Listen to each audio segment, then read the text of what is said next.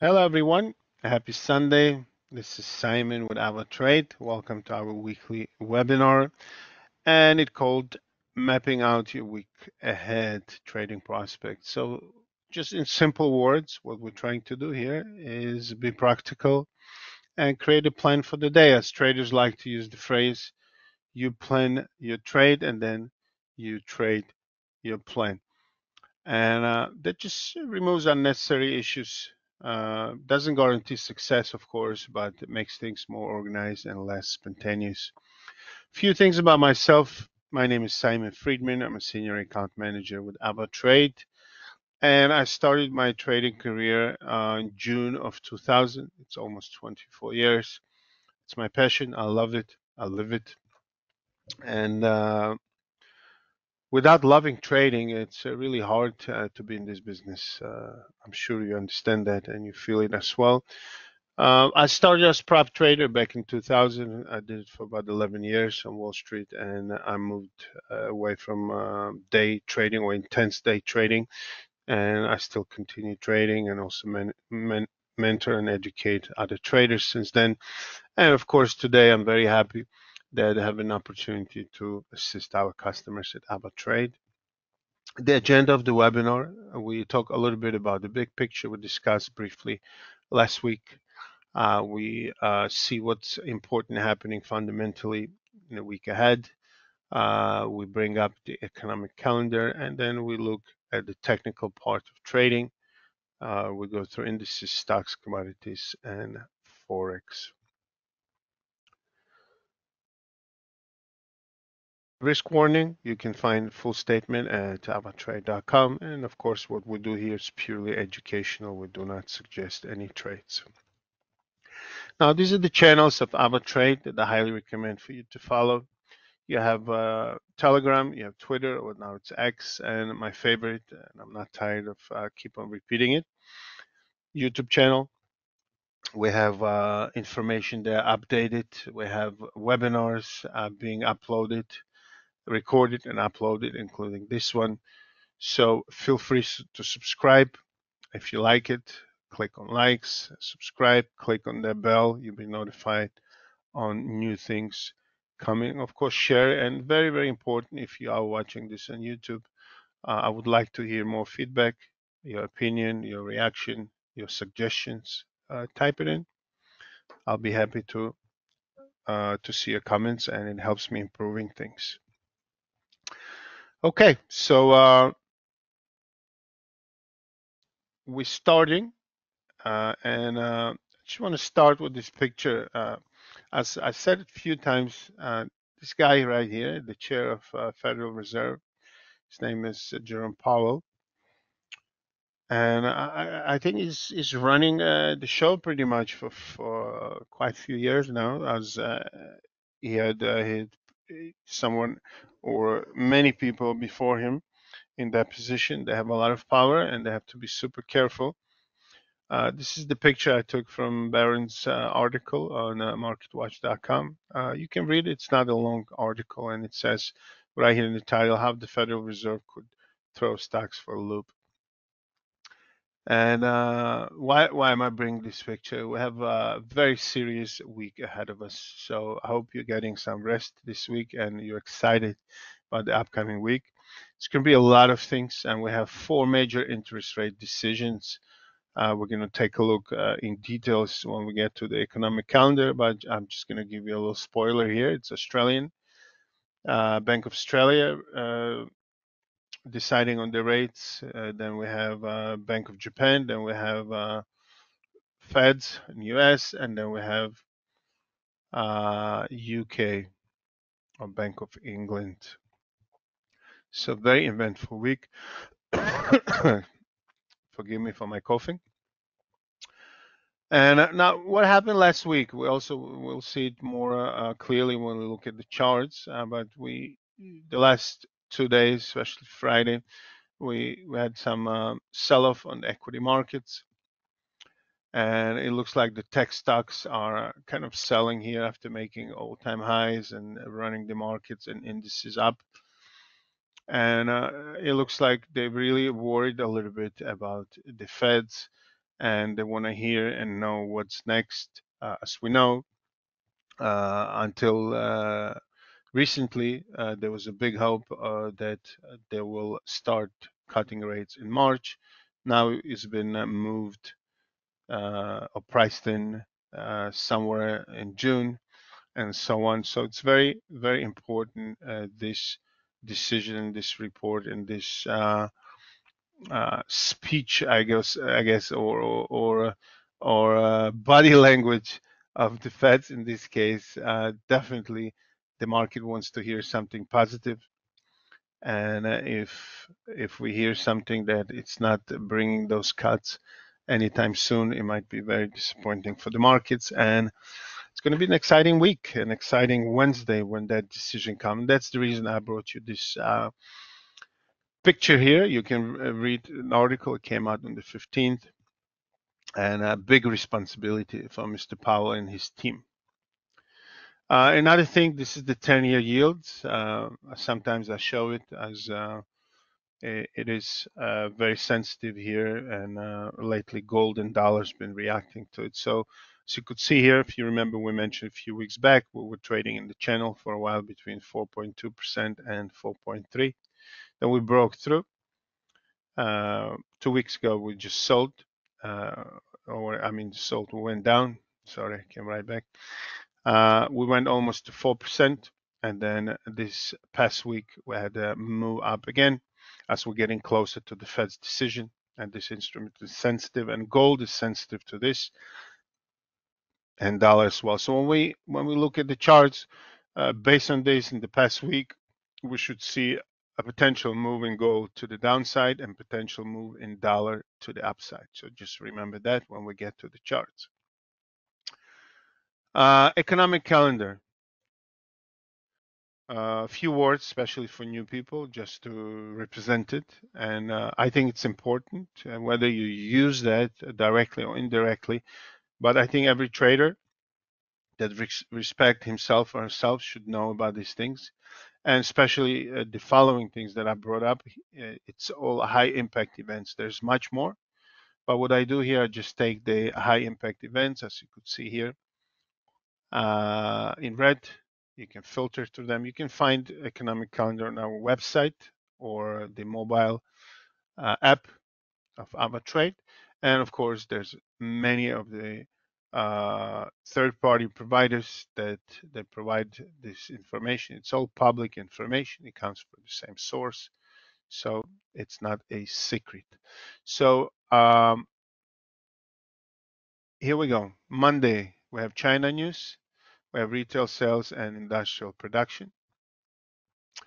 Tuesday we have uh, Bank of Japan interest rate decision and monetary policy statement. Definitely we'll be watching the yen and the Nikkei, the local index. And um, just to remind us, and especially mention to new people, Bank of Japan is the only major bank that uh, still keeps negative interest right here, right?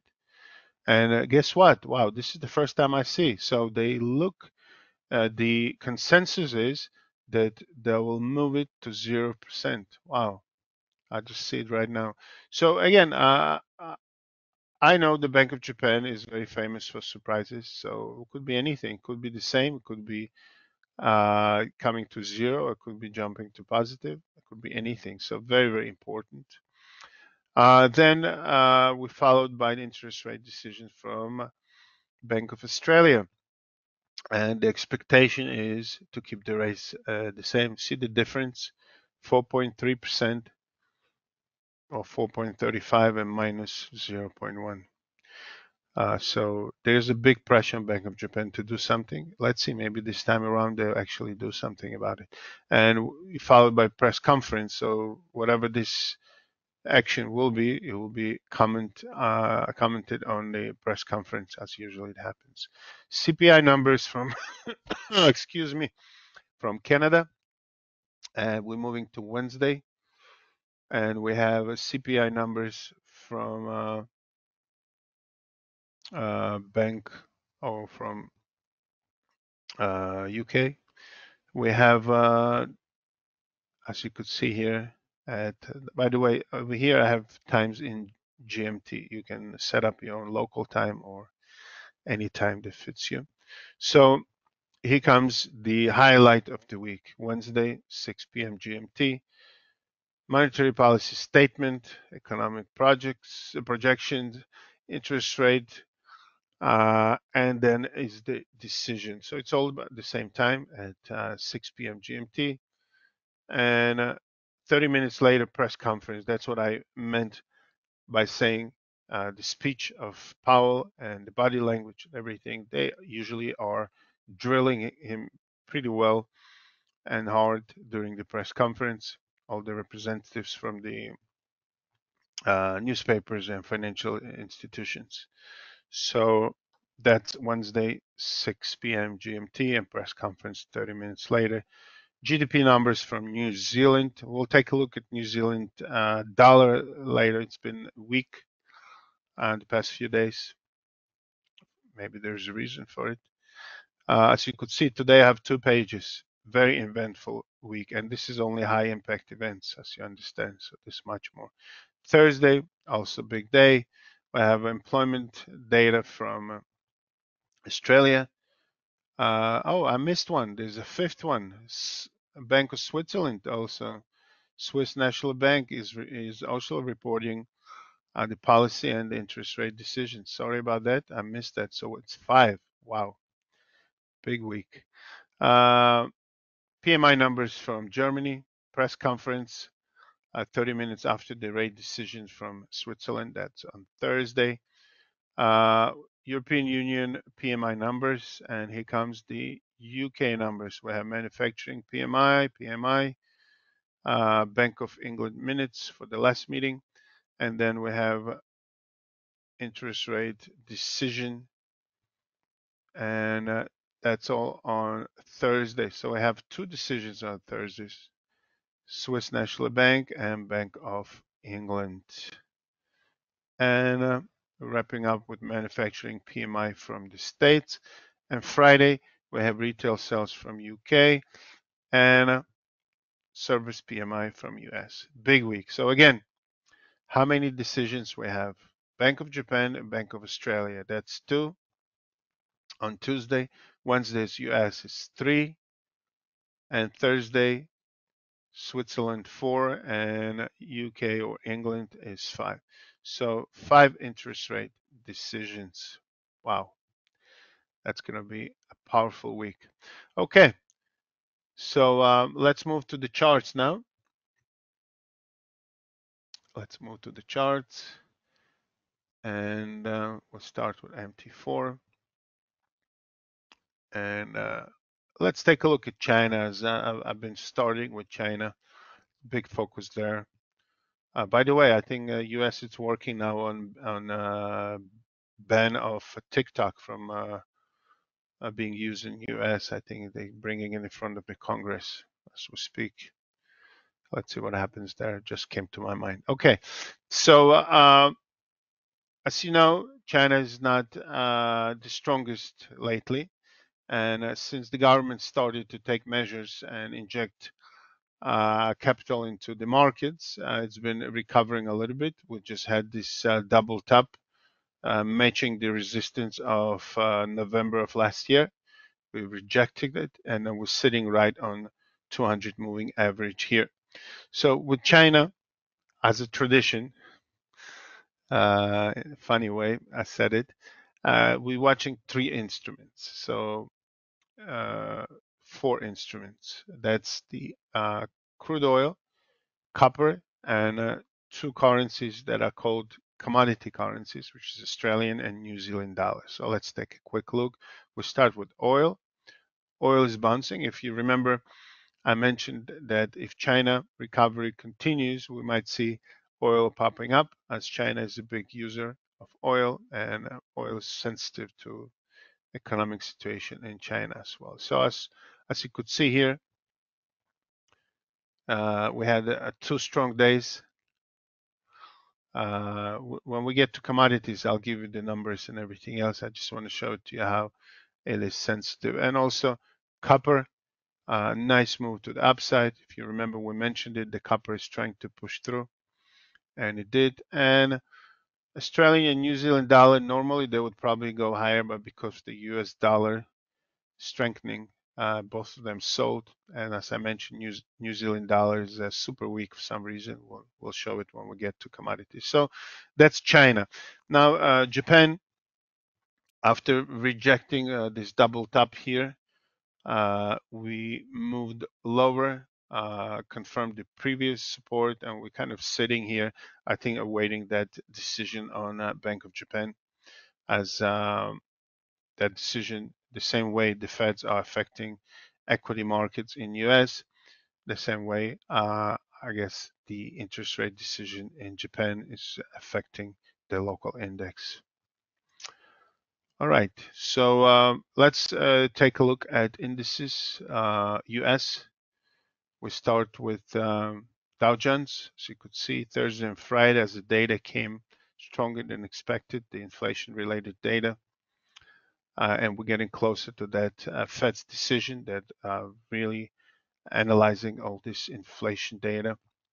We, we saw a two-day decline in Dow Jones, S&Ps, similar idea. We started the week with the all-time highs in S&Ps, and then Thursday and Friday we sold, and Nasdaq sold the most. We had the three consecutive sessions as the tech stocks give away uh, some profits. We'll take a look at individual stocks shortly as well. So we started the week again with the all-time high, and then uh, went down. Now, out of all the indices, the German index is very, very strong after making all-time highs again. As you could see, we're, we're having a five consecutive months to the upside.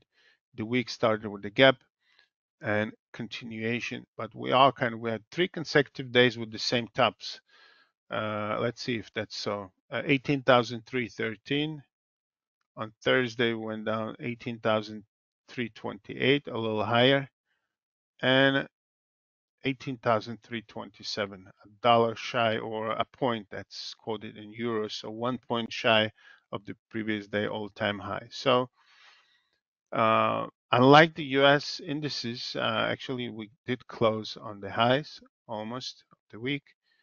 And uh, tell you the truth, uh, it looks very strong.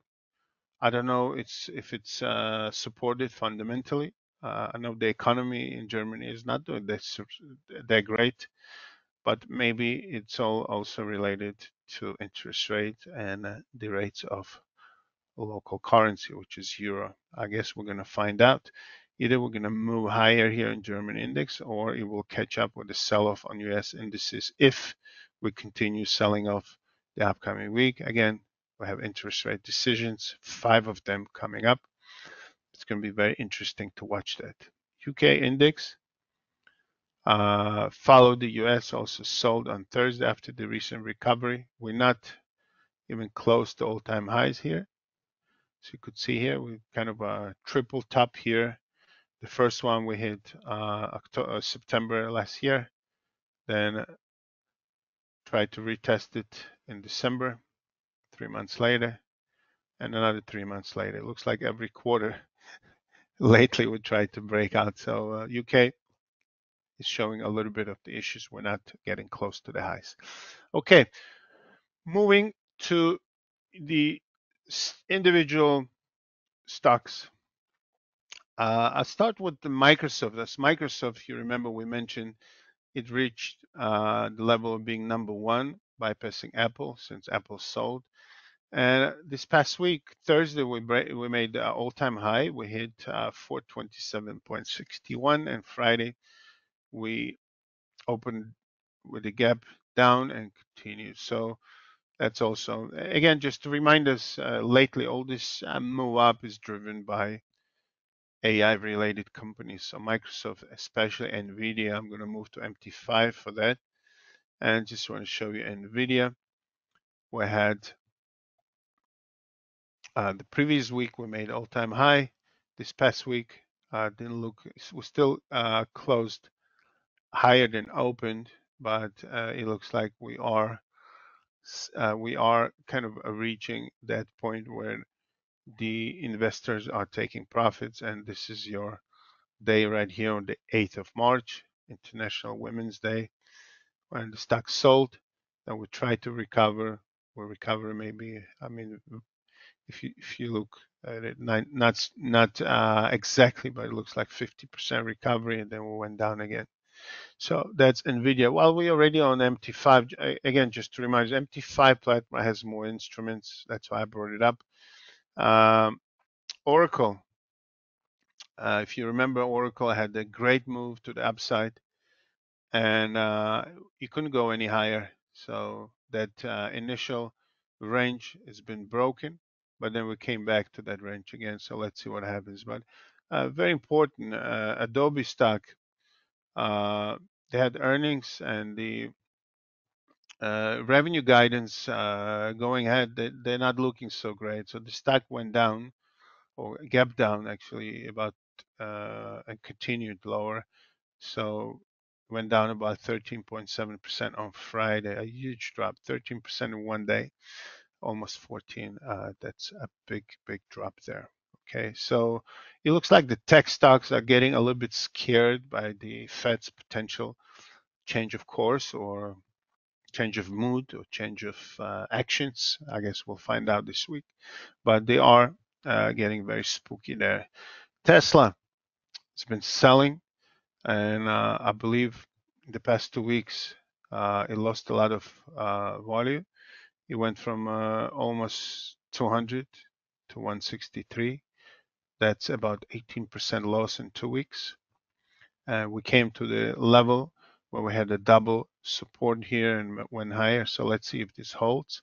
If not, we could potentially continue lower. There's a lot of article, articles on uh, Tesla. Some say that Tesla needs a real CEO who will be caring about the company. I mean, a lot of controversial things there. Uh, and we know that uh, Tesla has a tendency to sell and then uh, get resurrected and then sell again and again and so on. So I guess we'll find out. And in general, uh, the industries uh, of uh, electric vehicles they they're not uh, are really uh, so successful lately for some reason. some stocks are really selling. if you take Lucid, for instance, not not looking so great. Okay, so that's Tesla.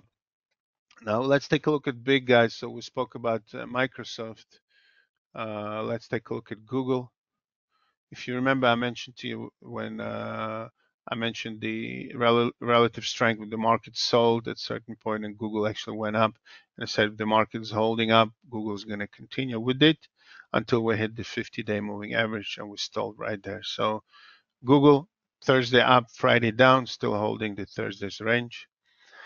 Apple stock uh, it looks like since that uh, uh, beginning of the move, and uh, there are a few things: the China banning the products, uh, European Union got they they hit Apple with uh, two billion fine, and so on. So, and guess what? Wow, I just see it now. a famous dead cross is showing right here. Again, it's not in stone, but a lot of analysts are considering it as a sell signal when the 50-day moving average crosses below the 200. Uh, the opposite happened here back in, uh, wow, a year ago exactly, March 23.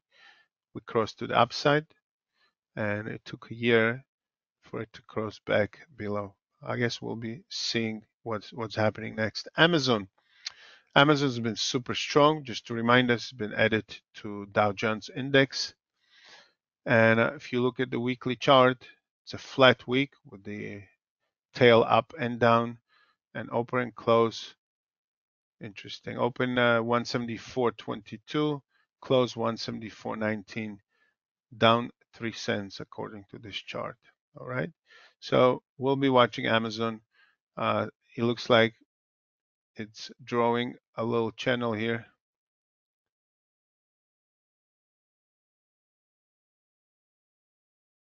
As you could see, right? That was a support, the resistance around 179.50, about $8 uh, range. Let's see if we're staying in the channel and accumulating for continuation to the upside, or it's accumulation for a move down. So we'll be watching Amazon there. Netflix. Here comes Netflix. Also rejected the previous resistance around 619, 620. And on the weekly chart, you could see why the whole sell-off started uh, December of 2021, where the big sell-off after the move up on the COVID excitement when everybody was home and watching movies, and then slowly recovery went, and we came back to that point, and we're struggling around there again. So it could be that uh, it's trying to break through but failing, and we might come down and look for the support, or we might break out. I guess we'll find out soon.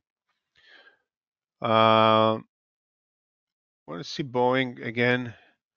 Uh, if you remember all the issue about the failing of the doors and other things and other findings that were found by the, by inspectors, and I think uh, they just uh, started the criminal file or opened the criminal file. So I guess we'll find out more. But uh, technically speaking, it looks like we're coming to this level from which we had a nice acceleration to the upside, and it looks like buyers are testing or trying their luck around here. So around 180.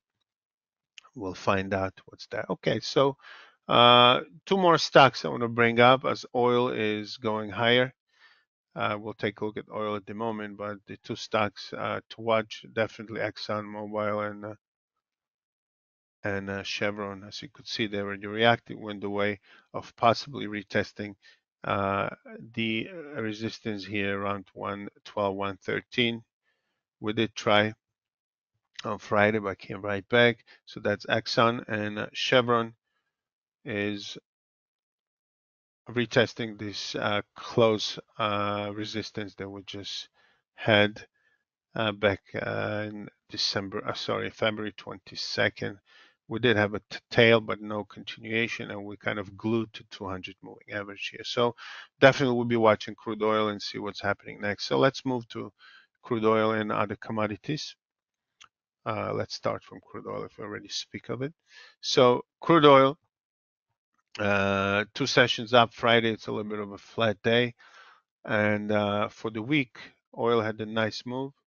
So you could see here the low of 76, 78, the highs 81, 60. Uh, I might be mistaken, but it's about 6% move to the upside. So let's see what's next. We clearly holding the 76.50 support, as we mentioned a few times. And we did close above the previous tails right here starting from uh, November last year November last year January or end of January as you could see there were a few attempts to break and we did manage to stay about 200 moving average here. Okay so let's see how oil continues again we'll be watching China and also global uh, economic situation as well. Okay, so that's our crude oil. Natural gas, again, uh, I just came up with this thing, predicting natural gas, like predicting the weather, literally. It's very sensitive and I really don't know how to fundamentally analyze it. Other than look at technicals, we have uh, three days in a row uh, holding this level, low 165, low 164.1, low 164.4. So uh, we did break the previous or the here the support that we had uh, the end of February. So if we go lower, I mean it's no brainer. We'll probably go and retest this low 152. If we get, go back above 170 again, we could be going and retesting the two. But like I said, predicting natural gas, not an easy thing. Um, gold. Now, if you remember, I showed in the beginning the slide of, um, I'll show it again, of 10-year uh, yields. Here it is. So the whole week has been going higher. So we said that gold should show a little bit of a weakness. and dollar a little bit of a strength. So same as exactly what happened. So this week, not very aggressively, but gold sold a little bit from the beginning of the week. On the weekly chart, we'll see we'll see it much better. So the high was uh, 122.88, almost 89, and the low, uh, sorry, uh, 21.88, and the low 21.50 and a half. So if we watch in gold, if it continue lower, we'll see uh, this uh, a large candle here from the 26th of week of 26th of November. That's the weekly chart. Uh, let's see, it's around uh, 2140, 2142. If we manage to hold this right here, or we might come right back. And if we continue lower, if you remember, there was a big accumulation in this channel here between 2008 and 2084, roughly. So uh, we'll be watching gold. And of course, when the Fed make that decision in the press conference, uh, we'll see some volatility as usual in gold, dollar, and uh, equity markets. So that's gold. Copper, as we mentioned when we spoke about China, copper had a nice move to the upside. Let's see what's uh, what potentially could happen. As you could see here, there was a lot of action around exactly this point, around uh, 411 to 420, big tails, but we didn't manage to close above 411, right where we are now. So this was a big move. We stopped right here. And let's see if we continue here. We'll be watching China. We'll be watching uh, economic situation and indices globally as well. So that's on uh, copper. Palladium is coming back to life. It's been strong, as you could see here. Again, monthly chart, we've been really sold here. And here's your daily daily chart. We went straight from 1257 all the way to 9 almost 900. Then we had a little a little bit of consolidation, made a lower low, a lot of actions here. We had about five six days of really trying hard to break lower. We couldn't. Then finally on the uh, 14th of February, we had to move up. We came back above 950. If you remember, we mentioned that number many times. We had a lot of actions here. And Then finally we kicked off 950 that was on the 6th of March. Huge bar to the upside. And uh, we are holding here. So as you could see here, the moment we broke through the top of that bar a few days later, the buyers coming in, but we are currently rejecting the 200 moving average here. So let's see how this will work out. Uh, a lot of uh, accumulation through these levels here the impulse was very, very strong, and we're currently trading higher than that. So one indication we could set up is the top of this uh, large candle here. The high was 1070 Let's make it exactly.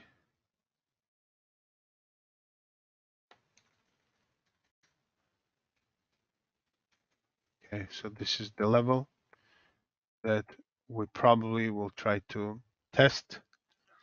As you could see here, a lot of tails below, but so far we managed to stay above, and that's the latest move on Friday. So if we manage to stay above and start building up, we might continue higher, retest again the 200 moving average, and potentially move higher because, I mean, the instrument has been sold tremendously.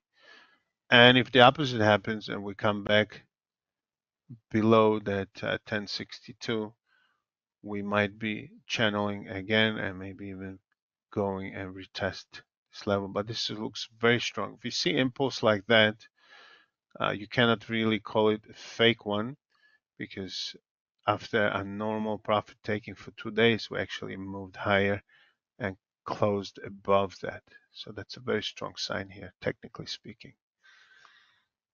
Okay, and uh, of course a hero, a Coca.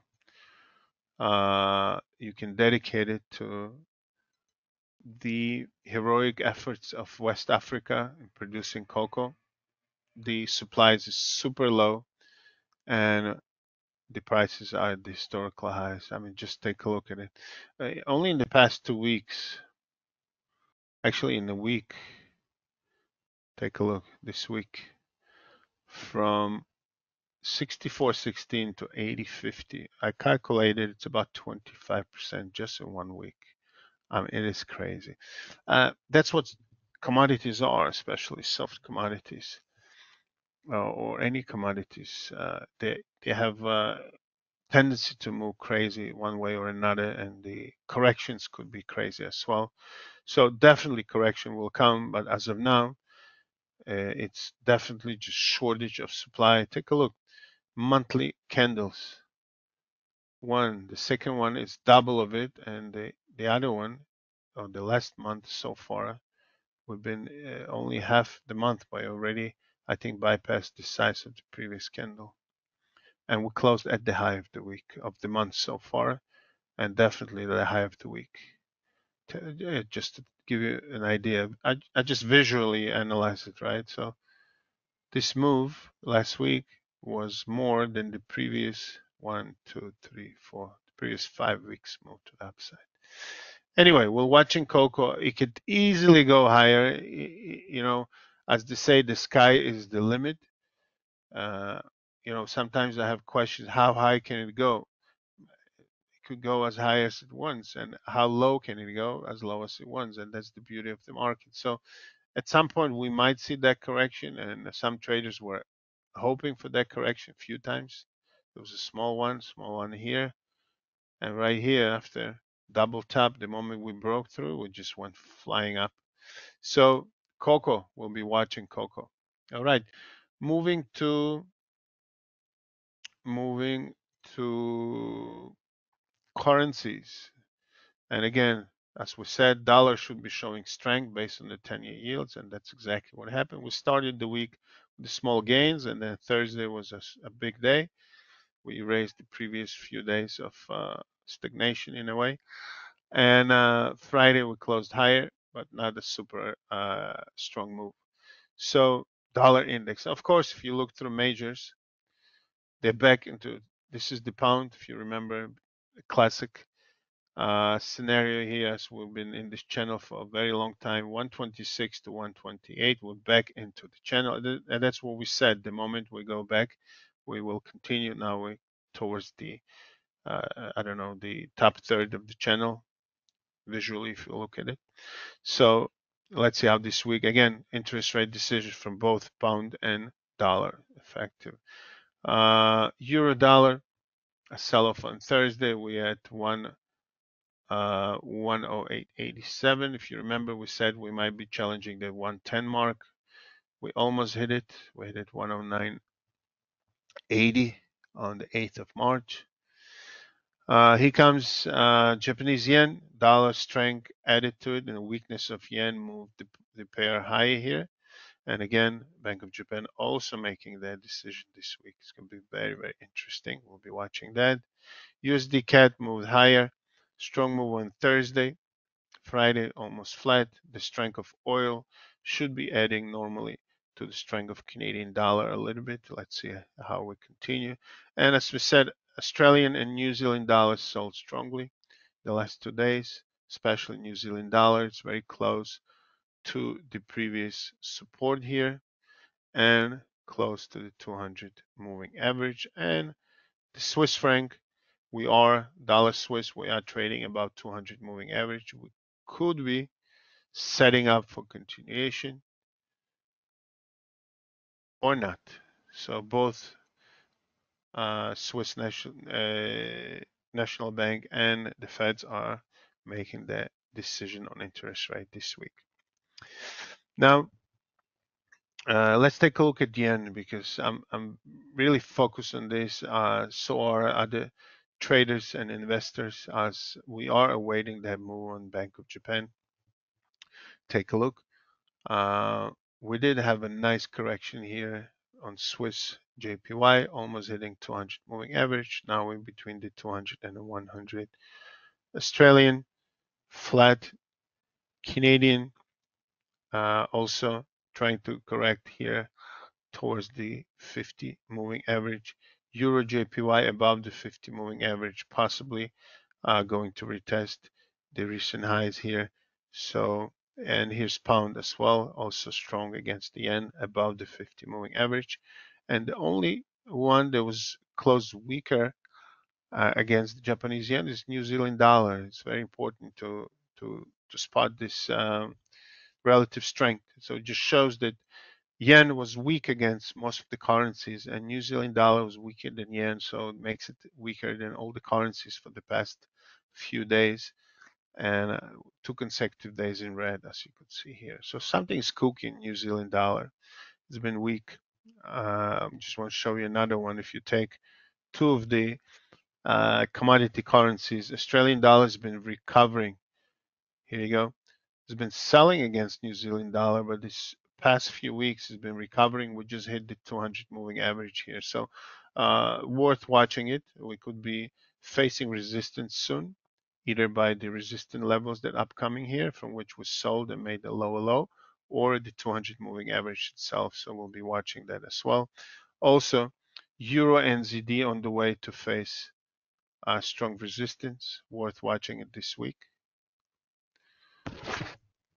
We are getting there very close to that resistance. We are about what 18 pips away. GBP NZD, the same thing. We actually at that resistance as we speak. 209. That's uh, a lot of trading going on, as you could see here. Uh, October 23 last year.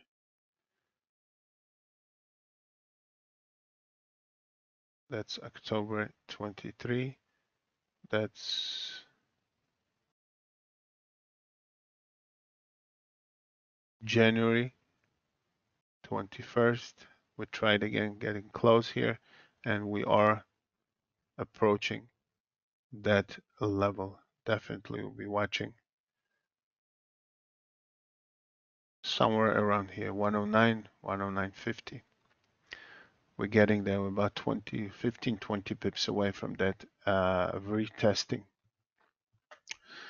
And uh, that's on on the weakness of New Zealand dollar. Again very important this week five not four I mentioned four but it's five interest rate decisions. Uh, Swiss National Bank Bank of Japan US uh, UK and Australia will be definitely, definitely watching that. So that's as far as Forex. And let's take a quick look at Mr. Bitcoin as uh, the excitement was cooling down a little bit as we speak.